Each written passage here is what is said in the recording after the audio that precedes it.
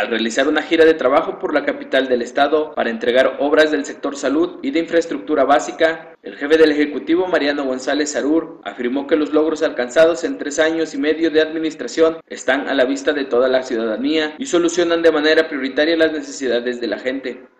acompañado por el presidente municipal de Tlaxcala, Adolfo Escobar Jardines, y de autoridades locales, el mandatario inauguró obras de rehabilitación de la clínica de especialidades y del módulo dental, así como el mejoramiento de calles de la comunidad de Tizatlán, acciones en las que se invirtieron 2.6 millones de pesos. El titular del Ejecutivo remarcó que cuando las personas reciben las herramientas para superarse en todas sus actividades que realizan, entonces se puede alcanzar el desarrollo integral de la población, antes, Adolfo Escobar Jardines, alcalde de Tlaxcala, subrayó que los logros y las inversiones en la capital realizadas por el gobierno del estado deben transmitirse a todos los sectores sociales y se comprometió a contribuir para que los habitantes sepan que en Tlaxcala se avanza gracias al interés del jefe del Ejecutivo. De esta manera, Escobar Jardines agradeció a González Sarur por el trabajo emprendido a favor de la capital y del resto de los municipios para atender y solucionar sus demandas.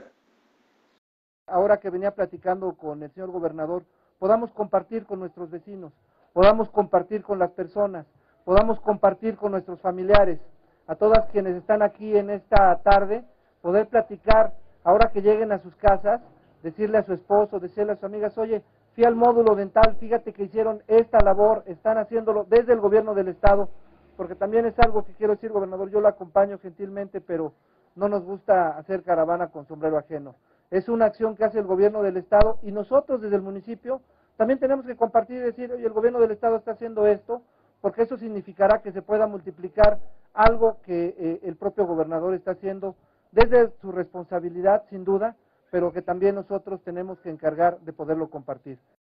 Luego, el jefe del Ejecutivo recorrió las instalaciones del módulo dental y consta todos los trabajos que se llevaron a cabo para mejorar la atención de la ciudadanía así como las condiciones físicas de este espacio. En su mensaje, González Sarur enfatizó que la actual administración estatal trabaja de manera coordinada en equipo y corresponsabilidad con el gobierno federal, con los municipios y sobre todo con la gente que se organiza y participa para alcanzar los objetivos de beneficio común.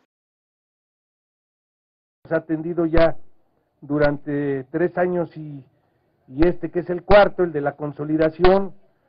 la demanda, la eh, que es carencia y necesidad de la gente y lo hemos convertido en programa, en proyecto, en presupuesto y lógicamente que ahora es un satisfactor. Lógico que las peticiones son al infinito y los recursos no alcanzan, sin embargo, hemos dado prioridad y jerarquía.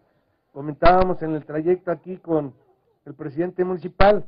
que pues yo no destino dinero para muchas cosas que se destinaban en el pasado pero lo destino para la gente, que es lo más importante, y para que se vean, que sean realidades, y que si hay peticiones, no todas se podrán obsequiar, pero muchas de ellas sí. Y en este caso, pues estamos viendo el módulo rehabilitado, eh, la demanda que tiene.